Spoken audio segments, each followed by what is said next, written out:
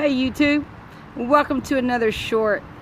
Hey guys, I got really, really big news, super big news. Two things I gotta tell you.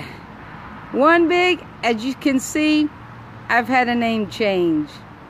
So I started this channel two years ago and I was in my little vintage camper and no more. I have embraced the van life and I am not going back.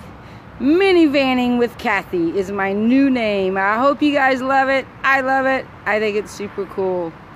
And the other announcement I have is I, I made an avenue for those who want to support my channel and it's just buying me a cup of coffee. Such a nice gesture, but a simple way um, uh, of any of those who would like an avenue to support my channel.